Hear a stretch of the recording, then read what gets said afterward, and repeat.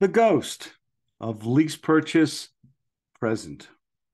The old Norwegian grandfather clock that my folks had left me had chimed at the top of the hour. At the sound of the second chime, as I had been warned, a rather well dressed woman's spirit appeared apparating through the bathroom down the hall. I pondered which portion of the toilet facility she had used for her entrance. I was pretty sure it wasn't the bathtub or the sink. Yuck. Wonder why she didn't just use the fireplace like Manny had. Before I could give it another thought, she spoke. Hurry, she ordered. The clock moves quickly and we have much to see. Hold on to the end of my scarf. We must be off. Mind if I just call you Mo, short for Maureen? I asked. Very tersely, she replied, That is not my designation. I am the lease purchase ghost of the present. You go sure do have a great sense of humor. Always the life of the party, aren't you? I laughed.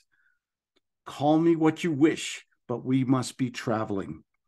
With that, we were beamed, or whatever they call it, to my lease purchase investing office in downtown Seattle. It was a very prestigious location that I had rented in better financial times. It consisted of three offices, a conference room, and a lobby. Oh, did I mention I was also behind on my lease payments here, and the landlord landlord had given us notice to be out after the holidays. Heck, even the water company wouldn't replace the bottle, and the coffee vending people took their took back their espresso machine. I had two employees left, Bubba and Simone. They had been with me since the beginning and basically helped me with everything from secretarial duties, appointments, checking, competitive prices, marketing. You get the picture. They were great. They did everything without me micromanaging them. I did the deal and they took care of the details. We were a great team, or so I thought. Mo, the ghost, told me to pay attention and listen to Bubba and Simone's conversation. Bubba. So where's Ralph? I haven't seen him here in the last two weeks. We haven't done a deal in months. This business is falling apart. Simone, I know, I know. I can never get him on the phone. All I do is leave messages. I read the business mail the other day, and the landlord is kicking us out after Christmas.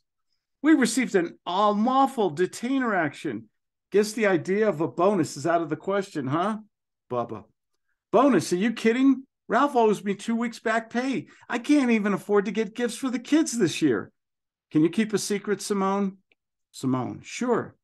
Bubba, I am interviewing for another job. I can't go on like this. No communication, clients, or paycheck. Simone, I am doing the same thing, going on job interviews. Real shame, too. I've been with Ralph for over 10 years. I used to love working here. Bubba, almost nine years for me. Simone, what happened? He used to be such a go getter. We always had a plethora of lease purchase sellers, investors, buyers. We did deals with all the local real estate agents, local investors, and mortgage lenders. We were the kings of the lease purchase in Washington. Ralph was so motivated, and he was a great salesman at one time. He was Mr. Lease Purchase. Bubba. Guess Ralph just burned out or took too much for granted. We haven't created any notes in months, and the phone never rings for consultations, only bill collectors. No sandwich deals, no wholesale arbitrage assignments, no retail deals, no hybrids, no nothing, nada. Simone, really a shame. He used to be someone I looked up to. He was one of the best lease purchase deal makers I ever saw. Ralph could do deals on vacation. Bubba, not anymore. He lost his mojo. I understand his family is really suffering too, and they might lose the house. Pretty scary situation, if you ask me. Simone, I wonder why Emily puts up with this. Bubba, hope springs eternal, I guess. Maybe she loves him too much to complain. Oh, well, none of my business. Simone, I remember a time when Ralph could just do deals whenever he wanted. He had the magic Midas touch. He could cold call anyone who had a house for sale or rent and closed them in one phone call. He had a list of buyers and investors. Remember the time he bet that loser investor, Hod Hedgeback, that he could pick up any three names out of the phone book and he would set up an appointment with one of them? Bubba, yep. He did the deal on the second phone call. Ralph was really something. Won that bet too. Hodgebet had to leave town. He was so embarrassed. Looks like the touch turned into poison. Everything he touches now turns to merde. Simone, I didn't know you speak French. Bubba, I'm learning out of necessity. My next word is au revoir to Ralph and this fiasco of a company.